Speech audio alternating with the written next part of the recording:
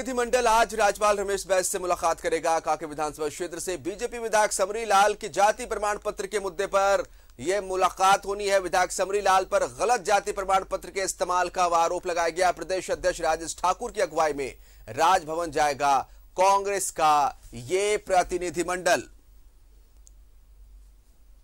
इस समय की यह बड़ी खबर है और इससे पहले आपको हम जानकारी देना चाहेंगे, कांग्रेस के ही एक विधायक की विधायकी गई है। बंधु तिर्की की, जो कि मांडर विधायक है, आय से अधिक संपत्ति रखने का आरोप लगा था उन पर और उनकी विधायकी चली गई।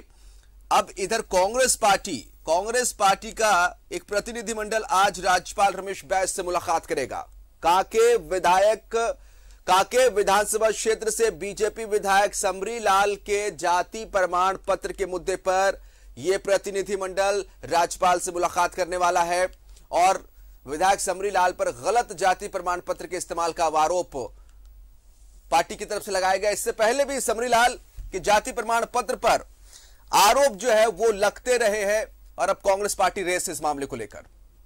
विपिन, हमारे साथ फ़ोन लाइन पर ज़्यादा जानकारी चाहेंगे। समरी लाल के जाति प्रमाण पत्र को लेकर कांग्रेस पार्टी का प्रतिनिधिमंडल राज्यपाल से मुलाकात करने वाला। जानकारी चाहेंगे।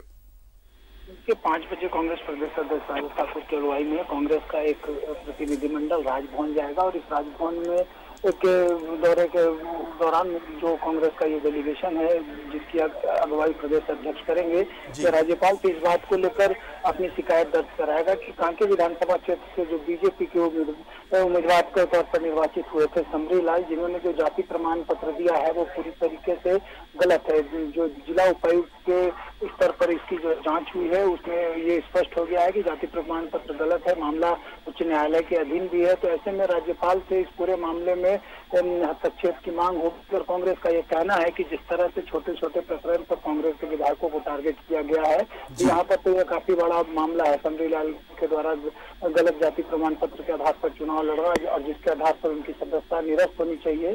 तो बीजेपी विधायक समरी लाल की सदस्यता को निरस्त कराने की मांग को लेकर कांग्रेस का डेलीगेशन अब थोड़ी देर के बाद राजभवन पहुंचेगा और राज्यपाल से इस बाबत मुलाकात होगी।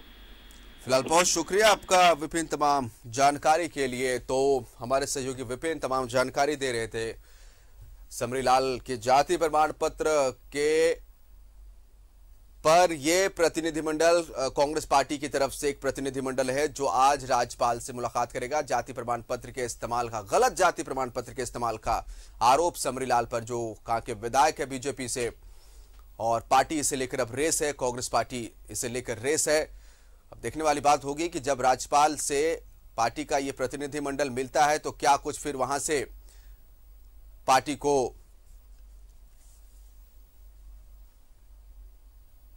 आश्वासन मिलता है?